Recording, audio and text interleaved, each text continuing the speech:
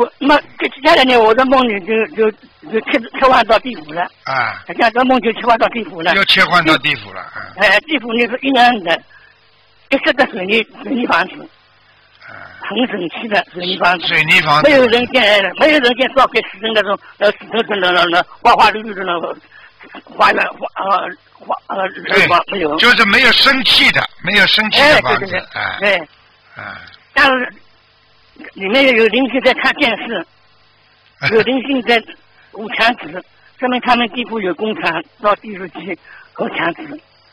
扶墙纸扶墙纸哎就是把房间里那个墙壁啊扶这个墙纸，哎，扶墙纸，啊。啊啊我我那个在公交车站等车子，啊啊，来回的公交车里都是银色的和白色的，看见了吗没？有商业广告。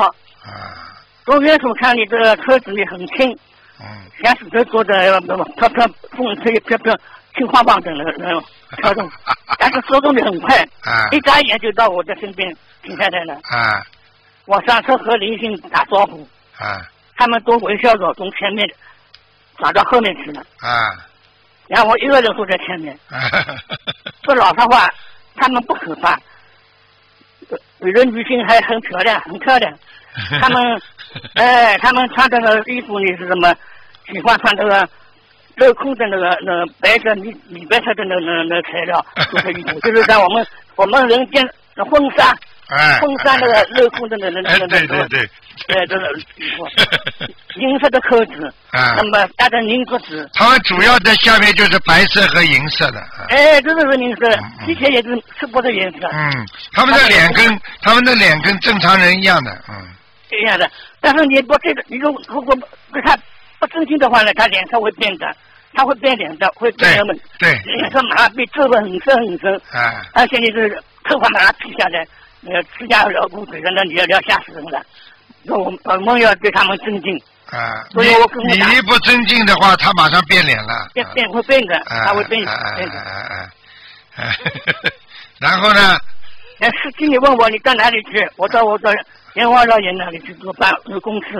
嗯他说说到到底，又拐弯就到。嗯，好的，梦境就切换到阎王老爷那里了。啊，阎王老爷那办公桌坐在办公桌上面，嗯呃，他像这个子不高，黑黑的胖胖的，啊，坐在办公桌上面嗯前面。我说，他说他你来了，我说我来了，又要又要晚上你公公了。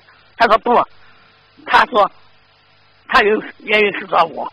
我说我有事要请教你。嗯，他说你先讲，那么我先讲了。我嗯我说第一个问题，有人念二十一张小房子，这点我看他太好，还是可以的，但是毛病毛病没有发转，但是好像还有点不舒服，啥道理？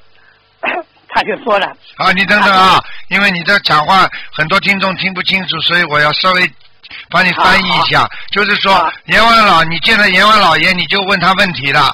阎王老爷，你问他，你说有的人念了二十一张小房子，为什么身体还不好？是不是啊？对对，然后呢，阎王老爷怎么想讲的呢？他也从抽屉里拿了一个呃公文夹，他从抽屉里拿了一个公文夹啊，哎，公文夹里面加了几几张空白的小房子，加了很多空白的小房子还有几张那个报告，呃，五八神写的报告。啊，还有还有就是护法神写的报告，嗯，对，就是那个病人的头上的呃三位五法神写的报告，证明啊那个他是念二十一张小房子，啊，但是有三张小房子给顾问顾顾问野鬼抢掉了。哦，就是说他本来是念了二十一张小房子，但是这个中卷里边呢，为什么不灵呢？因为有三张被孤魂野鬼抢掉了。对对我们台上讲的一模一样间肉眼看起来还是红点小房子，但是烧下去就是空白的。哦，就是说我们烧下去，虽然它是红点，实际上已经被孤魂野鬼拿掉了。嗯，对对对，啊那么，那么我说这为为什么不抓住他呢？他说不行，不好抓，因为因为就是他们有有有规定的，呃，三位不完成，他的岗位在那个念经的人手头上，不能每一个人手上都有三位不完成，他不能不理不在岗位，他要记录你那分钟做的好事还是坏事，他要记录的。啊那么我说什么办法哈？以防以防这个呃那个故宫也会抢房抢房子呢？他说有办法，他们有他们他们有个规定，就是不能进禁区，进禁区的话呢就会呃他录像把他的我定身法把他定定住，他录像把他不下来。那么我说什么叫禁区呢？他们说很，他说很简单，用个红布，红的布放在台子上面，把小房子放在红布上点红红点，那红布就是禁区。啊，你看跟台长讲嘛，台长经常跟你们说，叫你们红布要包起来，红的小房子，他就他就等于禁区，就是孤魂野鬼就拿不掉了嘛，对不对？对对。但是他现在下面的阎王老爷教你一个更好的方法，就是说把红布摊在下面，上面点红字，那个鬼就拿不掉了。对对对。啊，你看。如果鬼要拿呢，那他不敢不敢拿。他不敢拿，哎，鬼不会拿。小鬼拿了都。为什么拿到小房子呢？小鬼知道小房子好东西，拿了以后呢，以后到到到那个阳寿到的时候，他回到地府去的时候呢，他就是大富翁了。哦，你看了吧？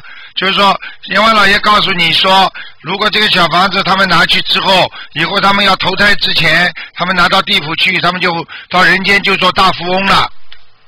对对。好啦，嗯。所以他们就是。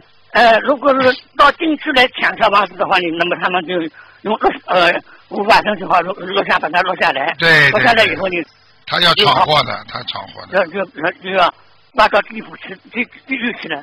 对对对对对，这样的。也就是说，也就是说，如果如果是嗯，就是光明白天，这这这这光天化日之间之之下抢小房子的话，一定会弄到地府去的。